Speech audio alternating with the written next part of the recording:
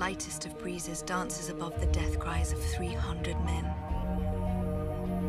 That breeze became a wind. A wind, my brothers, of sacrifice.